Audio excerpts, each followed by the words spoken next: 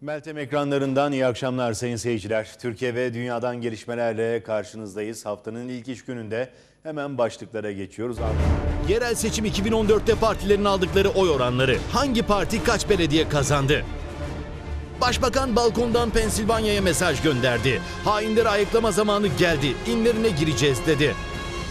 CHP'den seçim değerlendirmesi. Kılıçdaroğlu istifa iddialarına sert çıktı. Başbakan Erdoğan'ın balkon konuşması için Kur'an-ı Kerim'e hakaret edenler de oradaydı dedi.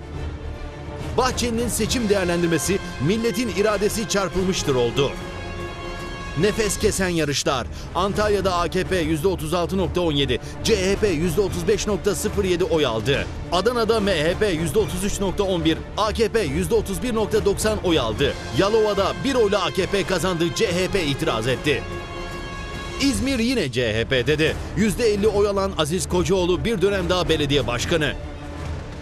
Başkentte seçim yarışı. Gökçek %0.9 farkla yeniden belediye başkanı seçildi. Seçimlerde 10 kişi öldü, 100'e yakın kişi yaralandı. Fatih İlçe Seçim Kurulu'nda tekme tokat kavga çıktı. Sultan Gazi'de muhtarlık binası ateşe verildi. Ayrıntılar şimdi.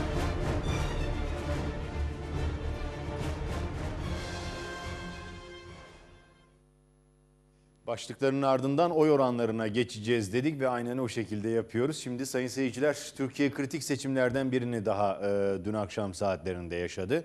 Ve yaklaşık 52 milyon seçmenin %87.77'si sandık başına gitti. Ana haber bültenimize partilerin Türkiye genelinde aldıkları oy oranlarıyla başlıyoruz. Evet sayın seyirciler özellikle Doğu illerinde Batman'da BDP %55.50, AKP %31.50, Hüpar %6.10 olarak gözükürken Bağımsız Türkiye Partisi'nin %2.20 olarak göze çarpıyor. Artvin'de e, açılan sandıklar %100 ve e, no, katılım da yine burada bu noktada %90 civarında. AKP %45.74, CHP %37.48, MHP %13.68, BTP %1.50, Demokrat Parti %0.75. Afyon'da ise Demokrat Parti 0.70, CHP %30.40, BTP 23.10, AKP 28.20. Afyon Bayat'ta. Adıyaman'da AKP %56.54, CHP %21.79, MHP %12.73, BDP %5.19, BTP %3 oy alarak oylarını yükselten parti olarak göze çarpıyor. Ağrı'da yine e, Bağımsız Türkiye Partisi'nin oy oranını yükselttiğini görüyoruz. AKP %47.13, BDP %44.69, BTP %3.05, SP %2.68, MHP %1.87. Antalya Elmalı'da ise BTP %21, CHP %28, AKP %34, MHP ise %8'de. Diyarbakır'da ise BDP %54.68, AKP %35.05, HÜDAP %4.42, CHP %1.17, BTP %1.10. Çanakkale Biga'da da BTP %22.30'da yine göze çarpan partiler arasında ilk üçte. AKP %32.01, CHP ise %41.40. Bitlis'te BDP %43.86 iken BTP'nin %2.40'lık e, oyu göze çarpıyor. Demokrat Parti %3.29, HÜDAP %5.95, AKP %40.58. Şanlıurfa Halfeti'de ise BTP %50.10, AKP %28, BTP %17, MHP %1.10. Bingöl, e, Bingöl'de de durum pek farklı değil sayın seyirciler. BTP yine Bingöl'de göze çarpan partiler arasında AKP %58.04, BDP %25.47, SP %8.40, HÜDAP %3.07. Eskişehir Mihalli çıktaysa yine açılan sandık sayısı ve oy oranıyla dikkat çeken partiler AKP, CHP, BTP. BTP %20.90, CHP %21.30, AKP %30.80. Hakkari'de BDP %66.76, AKP %26.12, BTP %2.75, MHP %2.34, CHP %1.43. Sakarya Geyve'ye baktığımızda AKP %37.70, BTP %35.20, MHP %17.20, CHP %7, diğer %2. Şırnak'ta da BDP %59.55, AKP %29.29, MHP %3.18, BTP %2.10. Elazığ Akçakiraz'a bakacağız. AKP %25.45, SP %23.66, Büyük Birlik Partisi %20.73, BTP %19.55, Demokrat Parti %9.25. Tunceli geneline bakıyoruz. Tunceli genelinde BDP %42.44, CHP %30.81, AKP %9.33, MHP %1.43, BTP %1.40. Elazığ Alacakaya AKP %40.06, BTP %18.92, MHP %2.82, SP %2.24, BDP %1.51. Van geneline bakıyoruz. BDP %51.13, AKP %40.74, BTP %2.10. Malatya Kale'de de BTP %12.25'lik oy oranıyla dikkat çeken partiler arasında. BTP'yi sırasıyla Demokrat Parti %1.24 ile takip ediyor. Ee, Kilis'e bakıyoruz. Kilis'te AKP %50.82, MHP %39.56, CHP %3.05, Büyük Birlik Partisi %2.68, BTP %2.10. Kilis Musa Beyli yine BTP'nin çok az bir oy oranıyla kaçırmış olduğu belediyeler arasında. AKP %49.68 iken Bağımsız Türkiye Partisi %47.52. Tunceli Pülümür'deyiz. CHP %49.89, BDP %30.64, Bağımsız Türkiye Partisi %15.02. AKP %38.09 Yozgat Baydin'de, BTP ise %30.26. Iğdır. Iğdır'da açılan sandıklar itibariyle AKP %43.20, MHP %41.40, AKP %9.90, BTP ise %3. Mardin'e baktığımız zaman bağımsız adayın kazanmış olduğu Mardin'de AKP %36.50, BTP %3, SP %2.60. AKP %46.60, BDP %37.20, SP %3.70, BTP %3.70. Batman Beşiri'de baktığımız zaman BDP %49.50, AKP %41.20, Hüpar %5.40, BTP %3.20, CHP %0.50. Ve e, sayın seyirciler Batman Gercüş'teyiz şimdi de. Batman Gercüş'te BDP %50.40, AKP %40.10, Hüpar %4.70, BTP %3.20 ile takip ediyor diğer partileri. Batman Hasankeyf'te ise BTP'nin %5.20'lik oyu dikkat çekiyor. SP onun üstünde %27.90, BDP %32.80 AKP'yi zorlamıştı. Hemen Batman Kozluğa bakıyoruz. AKP %46.10, BDP %44.10, Hüpar %5.10, BTP %2.60. Tunceli Hozat'ta ise CHP %32.50, TKP %29.20, Bağımsız %29.60, BTP %2.40, MHP %1.10. Van Gürpınar. Van Gürpınar'da BDP %52.70, AKP %40.90, BTP %2.50, Hüpar %1.20, SP %0.80. Van Saray'da BDP %63.90, AKP %30.40, BTP %3.20, CHP %0.80, MHP ile aynı oyu paylaşıyor.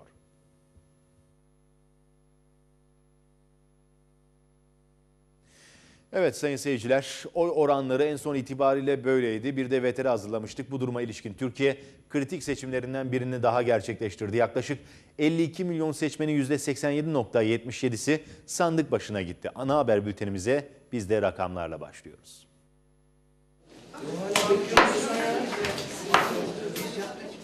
Türkiye yerel yöneticilerini seçti.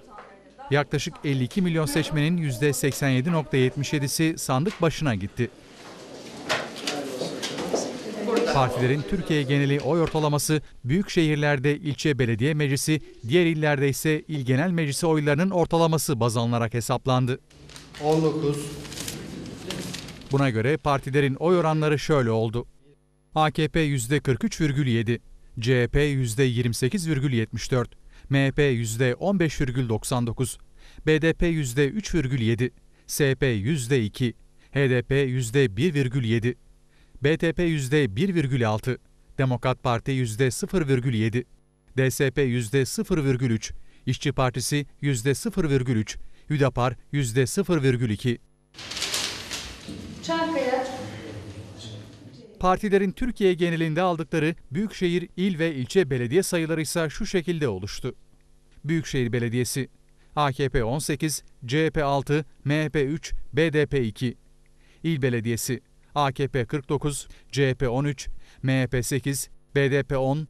İlçe Belediyesi AKP 585, CHP 171, MHP 111, BDP 75. Nefes kesen yarışlar. Antalya'da AKP %36.17, CHP %35.07 oy aldı. Adana'da MHP %33.11, AKP %31.90 oy aldı. Yalova'da bir oyla AKP kazandı, CHP itiraz etti. Yerel seçimlerde Türkiye'nin kalbi İstanbul'da kıyasıya bir yarış söz konusuydu. CHP adayı Mustafa Sarıgül partisinin oylarını %40'a kadar yükseltti. AKP adayı Kadir Topbaş ise %48 oy alarak bir dönem daha belediye başkanlığı görevini yürütmeye hak kazandı. Aylardır yoğun bir tempoda çalışma yürüten CHP İstanbul Büyükşehir Belediye Başkanı adayı Mustafa Sarıgül, AKP adayı Kadir Topbaş'la İstanbul için kıyasıya bir yarışa girdi. 8 milyon 753 bin seçmen yeni belediye başkanını seçmek için sandık başına gitti. Seçime katılım oranı %88'i buldu. Saat 17'de sandıklar kapandı, 39 ilçeden gelen sonuçlar sayılmaya başlandı. Bu sırada hem AKP hem de CHP il binasında hareketli saatler yaşandı. elde ettiğimiz şu andaki verilere göre bir kere daha büyük bir memnuniyetle ifade ediyorum ki İstanbul Büyükşehir Belediye Başkanlığı Kadir Topbaş'la İstanbul'da sabah olmadan tablo netleşti. Gayri resmi sonuçlara göre oyların %48'ini alan Kadir Topbaş bir dönem daha İstanbul'u yönetecek. CHP adayı Mustafa Sarıgül partisinin oy oranını %40.1'e kadar yükseltmeyi başardı ancak bu oran belediye başkanı olmaya yetmedi. bir koltuk arama Sarıgül sonuçları değerlendirdiği basın toplantısında çalışmaya devam dedi. ulusal birliği koruma İlçe bazında AKP 25, CHP ise 14 ilçede birinci sırada çıktı. 2009 seçimlerine göre tek değişim Beylikdüzü'nün AKP'den CHP'ye geçmesi oldu. CHP adayı Ekrem İmamoğlu 76.034 oy aldı. Oransal karşılığı %50.83. AKP adayı Yusuf Uzun ise 59.309 kişinin oyunu alarak %39.65'te kaldı. CHP Üsküdar'da ise seçimi kıl payı kaybetti. AKP adayı Hilmi Türkmen 153.072 kişinin oyunu aldı. Oransal karşılığı %45,74. CHP adayı İhsan Özkes ise oyların %43,34'ünü almayı başardı. %1 gibi küçük bir farkla seçimi kaybeden Özkes'e oy verenlerin sayısı 145.014. CHP Kadıköy, Bakırköy, Adalar, Beşiktaş, Sarıyer ve Şişli gibi iddialı olduğu yerlerde seçimi açık ara kazandı. Başkentte seçim yarışı. Gökçek %0.9 farkla yeniden belediye başkanı seçildi. Türkiye'de sonucu en çok merak edilen şehirlerden biri de şüphesiz başkent Ankara'ydı. AKP adayı Melih Gökçek kıl payı farkla yeniden belediye başkanı seçildi. Sadece %0.9 farkla seçimi kaybeden CHP adayı Mansur Yavaş sonuçlara itiraz etmeye hazırlanıyor. Ankara 5. kez üst üste Melih Gökçe'yi belediye başkanı seçti. Ancak bu seçimleri diğerlerinden ayıran en büyük özellik rakibiyle arasındaki kıl payı fark oldu. İkisini beraber verin. Niye vermiyorsunuz? Hayır, 3 milyon 243 bin kişi yeni belediye başkanını seçmek için oy kullandı. Seçime katılım oranı başkentte %90'ı buldu.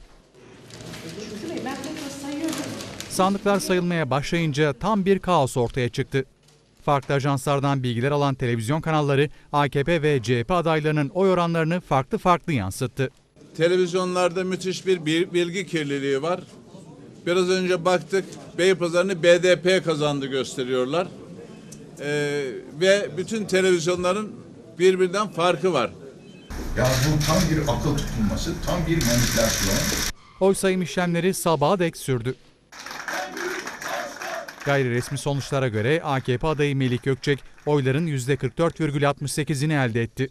Gökçek yaklaşık 1 milyon 405 bin kişinin oyunu aldı. En yakın rakibi CHP adayı Mansur Yavaş ise oyların %43,83'ünü aldı. Yavaş'a oy veren seçmen sayısı yaklaşık 1 milyon 379 bin oldu. kullanılan zar sayısını göreceğiz. Bir, Ankara'da AKP'nin oy oranı 2011 genel seçimlerine göre %5 azaldı. CHP'nin oy oranı ise %12 yükseldi. Melik Gökçek kıl payı farkla kazandı seçimin ardından kendisine oy veren AKP'lilere teşekkür etti. Ben bize oy veren bütün Ankaralı hemşerilerime teşekkür ediyorum. Onlara layık olmak için önümüzdeki 5 yıl daha çok çalışmak istiyorum. %0.9'luk oranla seçimi kaybeden Mansur Yavaş ise sonuçlara itiraz etmeye hazırlanıyor. Yavaş Twitter adresinden şu açıklamaları yaptı. Ankara seçiminin iradesi maalesef sonuca yansımamıştır.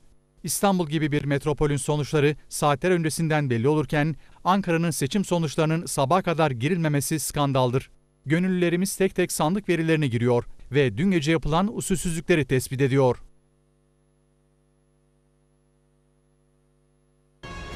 İzmir yine CHP'de de %50 oy alan Aziz Kocaoğlu bir dönem daha belediye başkanı.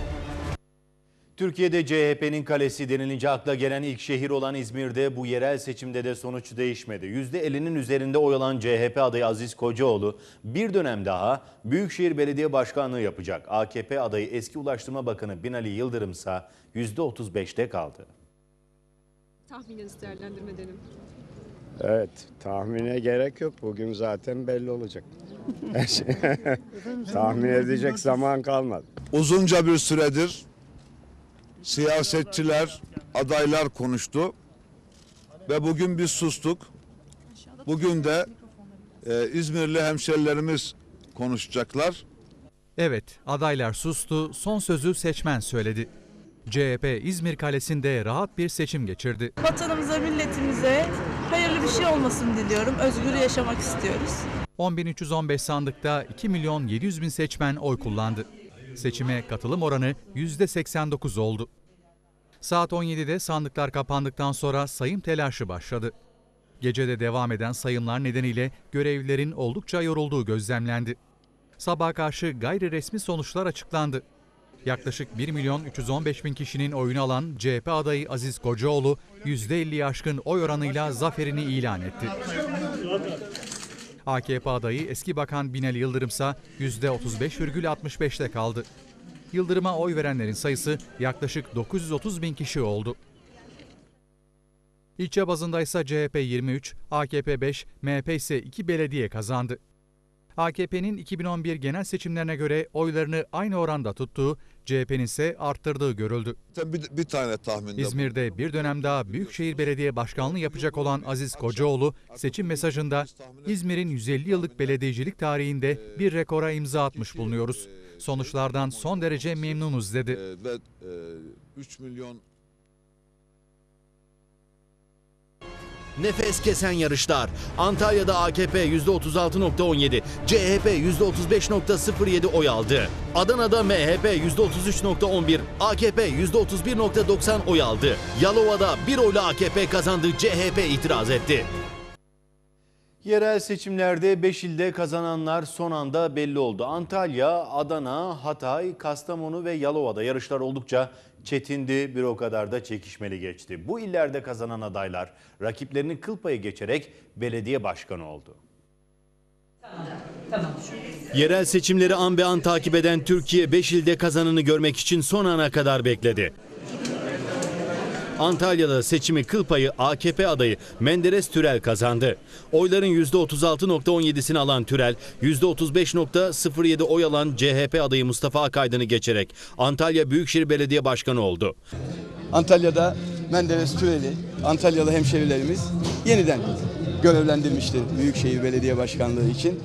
Dolayısıyla bundan sonra Antalya'da yeniden nerede kalmıştık diyor şarkı gördüğünüz gibi. Kaldığımız yerden hizmetlerimize devam edeceğiz. Adana'daki seçim yarışı da nefesleri kesti. Bir AKP adayı Abdullah Torun öne geçti, bir MHP adayı Hüseyin Sözdü. Evet. Sonunda gülen taraf MHP'li Sözlü oldu.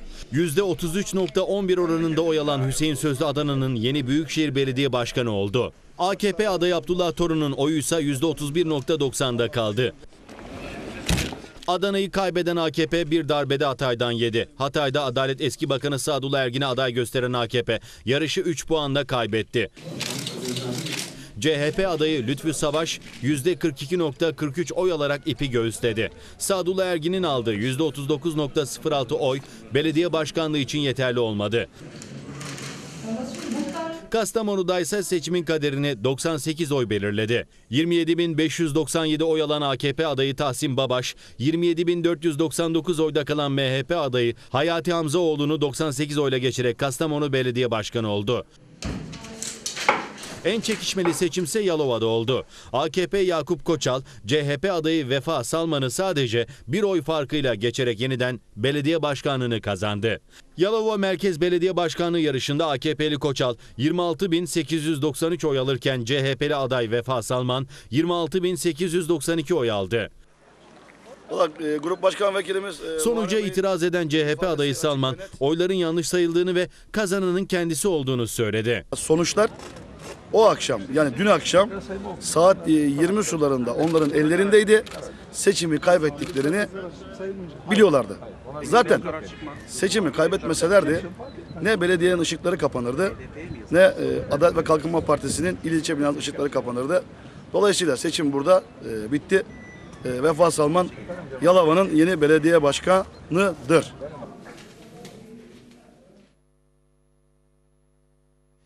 Seçimde oy oranını yükselten partilerden biri de Bağımsız Türkiye Partisi oldu. Şimdi de BTP'nin oy oranlarını aktarıyoruz.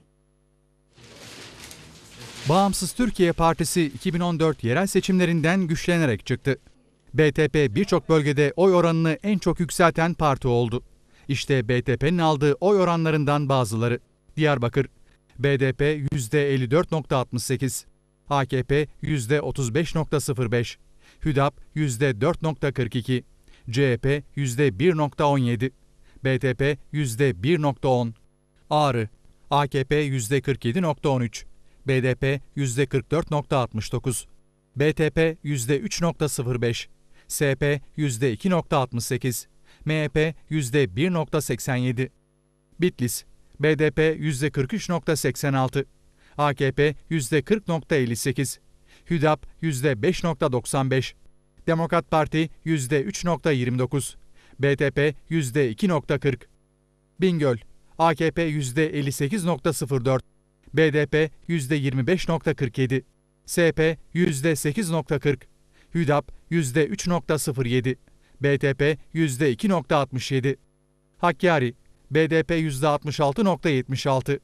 AKP %26.12, BTP %2.75, MHP %2.34, CHP %1.43, Şırnak BDP %59.55, AKP %29.29, MHP %3.18, HÜDAP %2.63, BTP %2.10, Tunceli BDP %42.44, CHP %30.81, AKP %9.33, MHP %1.43, BTP %1.40, Van BDP %51.13, AKP %40.74, BTP %2.10, SP %1.10, CHP %0.70, Kilis AKP %50.82, MHP %39.56, CHP %3.05,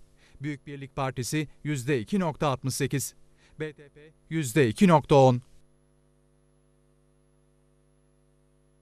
Şimdi de siyasilerin seçim sonuçlarına ilişkin değerlendirmelerine göz atacağız. Başbakan Erdoğan balkon konuşmasında Pensilvanya mesajı verdi. Hainleri ayıklama zamanının geldiğini belirten Erdoğan, inlerine gireceğiz dedi.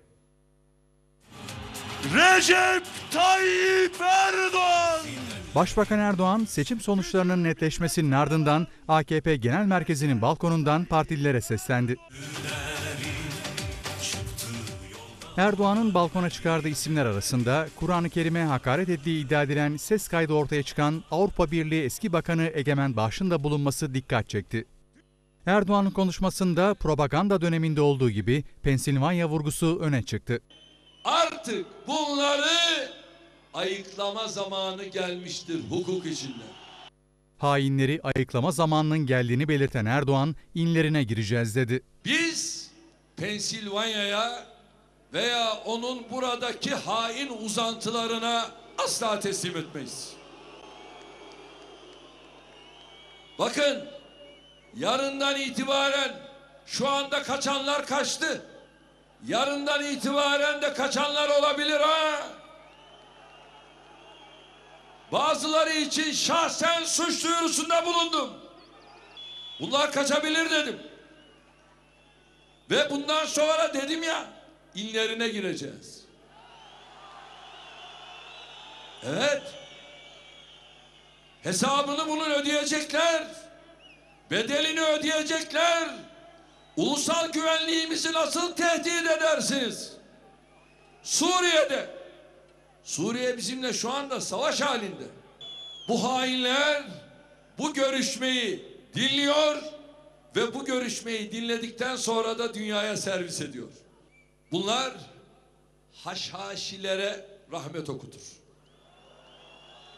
Haşhaşiler bunların yanında hiç. Bunlar haşhaşileri açtı.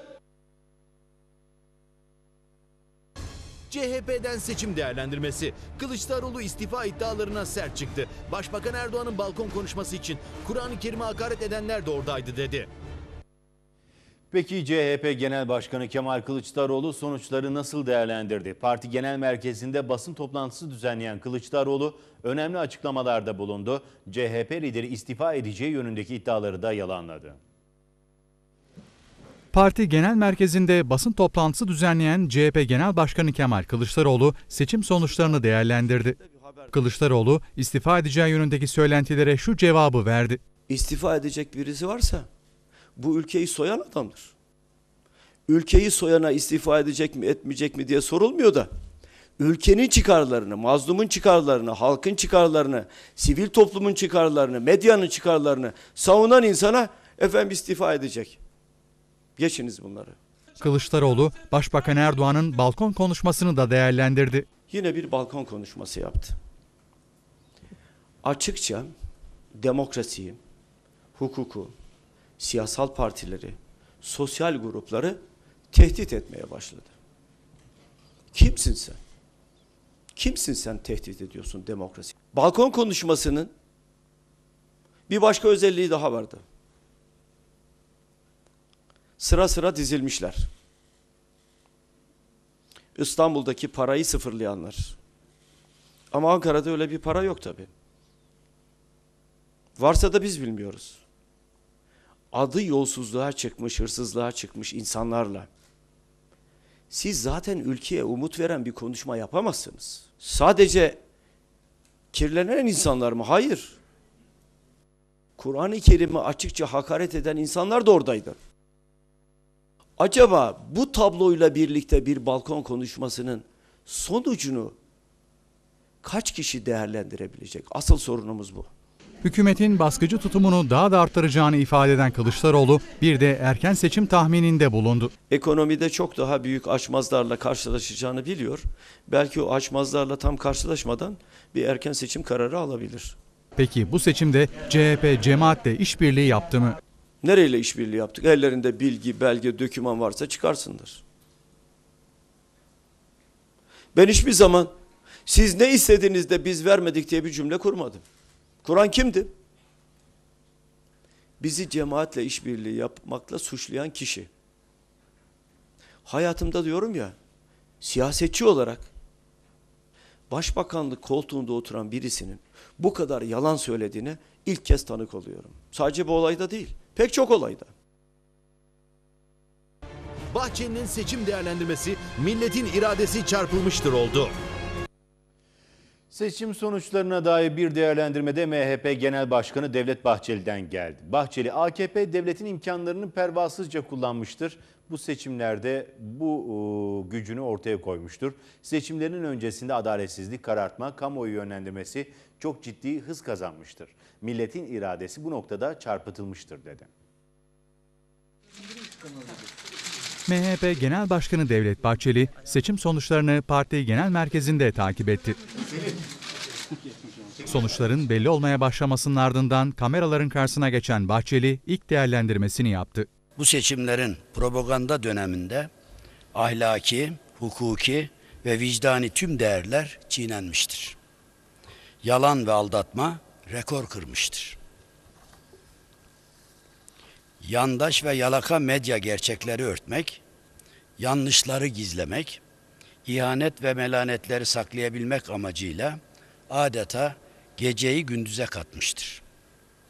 AKP devletin her türlü imkanını pervasızca kullanmış, kamu kaynaklarını keyfince siyasi faaliyetlerine seferber etmiştir.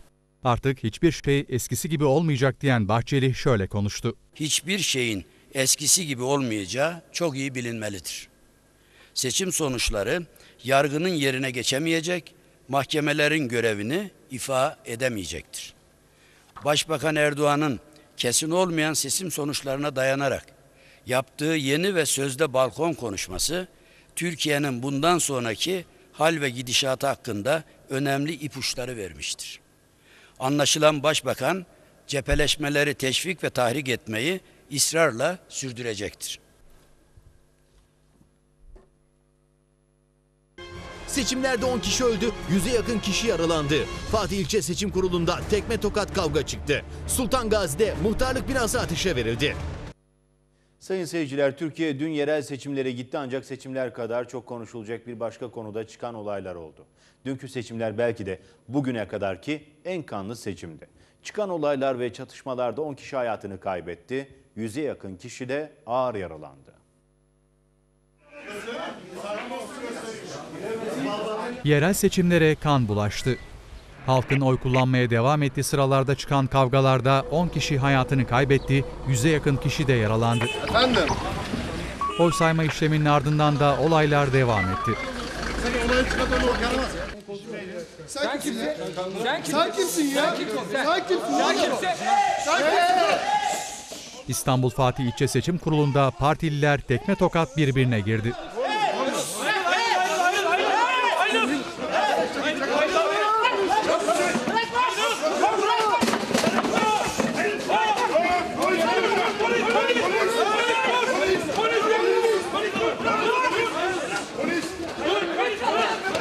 Fatih Belediye Başkanı ve AKP adayı Mustafa Demir'in ilçe seçim kuruluna gelmesine tepki gösteren grupla AKP'liler arasında kavga çıktı.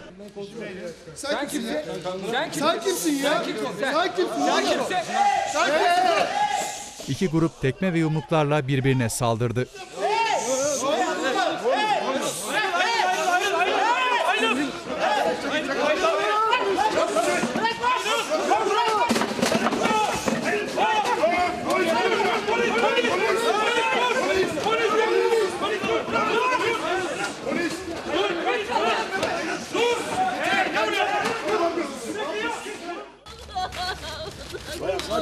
Sakin ol Bir bayağı. sandalye varsa getirelim ya. Oy torbalarını teslim etmek için ilçe seçim kurulu bahçesinde bekleyen sandık görevlileri kavganın ortasında kaldı. İki görevli aldıkları darbelerle yaralanırken bir sandık görevlisi oy torbasını kaybetti. Nasıl oldu? Korkuyorum anlatmaktan. Oylar çalındı falan söyledi. Yok çocuğa çalındı ya. Herkesin gözü önünde torbamla burayı teslim etmeye geldim. Bahçenin içinde saldırdılar. İstanbul Sultan Gazi'de ise oyların çalındığını iddia eden bir grup seçimin yapıldığı bir okulu taş yağmuruna tuttu.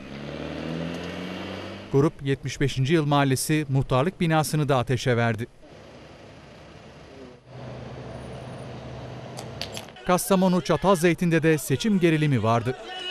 İlçede merkez sandıklarının sayımı sırasında olaylar çıktı. Bak bak bak bak bak. bak. Geçersiz mi bak. Bak nasıl geçer Sukat? Bakın. Ver. Ver ver ver. Sınıfa giren kimliği belirsiz şahıslar oyların bir kısmını okul bahçesine fırlattı. Koridordaki kalabalığı fırsat bilen bir vatandaşımız diğer sandıktaki oy pusulaların bir kısmını aniden alarak camdan aşağı atmıştır. Olay bundan ibarettir. Dışarıya atılan oylar kaybolunca iki farklı parti mensupları arasında kavga çıktı. Bunlar. Geçerli geçerli ayırdılar da kimse göremiyor bunlardan başka. Camlardan oylarımızı attık. Sonradan kaybedileceğini anlayınca oradan attılar. Camlardan Buradan gördüm. Topladık yüzleri. Bak yüz tane de arka tarafta var. Bak bak bak. bak. Geçersiz mi bak. Bak nasıl geçer Sukat? Düne sadece kavgalar damga vurmadı. Pek çok bölgede elektriklerin kesilmesi, oyların çalındığı iddiaları karmaşalara yol açtı. Haftalardır konuşulan seçim günü elektrikler kesilecek iddiaları 30 Mart'ta gerçeğe dönüştü. Oy sayma işleminin yapıldığı sırada birçok bölgede elektrikler kesildi. Burası Adıyaman. Elektrikler kesilince oy sayma işlemi mum ışığında yapıldı. Sınıflar karanlık altında kalınca sandık görevlilerinin yardımına kamera ışıkları yetişti. Hasan Hamamcı. Sadece Adıyaman'da değil birçok ilde de seçim günü elektrikler kesildi. Bazı siyasi partiler oy sayma işleminin sağlıksız yapıldığı gerekçesiyle il ve ilçe seçim kurullarına başvurdu. MHP'ye bir oy. Seçimde belediye başkanları gibi muhtarlar da kıyasıya yarıştı. Adana'nın Yüreğir ilçesine bağlı Bahçeli Evler Mahallesi'nde kıran kırana geçen muhtarlık seçimlerini Ufuk Manktay kazandı. Birkaç oyla seçimi kaybeden muhtar adayı Mehmet Özlem'in yakınları oyların çalındığı iddiasıyla seçimlerin yapıldığı İmalettin Levent İlköğretim Okulu'nu bastı. Bu seçimi kabul etmiyoruz. Ufuk değil, Öfkeli vatandaşları sakinleştirmek muhtar adayına düştü. Beyler, parti olarak ben bu seçimi iptal ettireceğim. Bu seçimde çok fırındaklık döndü. Bu seçimi kabul etmiyoruz. Ufuk değil, ufukun Allah'a gelse bu seçim iptal olacak. Ama gidin. Çorum'un Sungurlu ilçesinde ise küçük bir unutkanlık büyük bir hataya neden oldu. İlçedeki Mehmetçik İlkokulu'nda sandık görevlileri belediye başkanlığı oy pusulasını seçmenlere dağıtmayı unutunca 110 kişi belediye başkanlığı için oy kullanamadı. Bir vatandaşın itirazı sonucu söz konusu sandıkta oy kullanma işlemi durduruldu. Seçim hakimi siyasi parti temsilcileriyle yaptığı toplantı sonucunda 110 kişinin tekrar oy kullanmasını kararlaştırdı. Mart ayında kar ve fırtına sürprizi yaşanıyor. Doğuda her yer beyaza büründü. Kar ve fırtına doğuyu esir aldı. Diyarbakır'ın Kulp ilçesinde gece başlayan yağmur sabah erken saatlerinde yerini kar yağışına bıraktı. Yollar beyaza bürünürken vatandaşlar yürümekte bile güçlük çekti. Van'da da benzer görüntüler vardı. Yağmurdan sonra devam eden kar yağışı Muradiye ilçesini beyaza bürüdü. Van Hakkari Karayolu üzerinde bulunan Kurubaş geçidi ile aynı güzergahtaki Güzeldere geçidinde kar yağışı sürücülere zor anlar yaşattı. Erzurum'un Oltu ilçesinde kar yağışı sebebiyle 25 köy yolu ulaşıma kapandı. Araçlar yollarda mahsur kaldı. Muş'ta sabaha doğru başlayan kar yağışı hayatı olumsuz etkiledi. Zincirsiz trafiğe çıkan araçlar zor anlar yaşadı. Ve sayın seyirciler bültenimizin sonuna geldik. Yayınımız kısa bir aranın ardından haftanın sohbetiyle devam edecek. Orada da sizlerle son gelişmeleri değerlendireceğiz. İyi akşamlar ana haber bülteninden.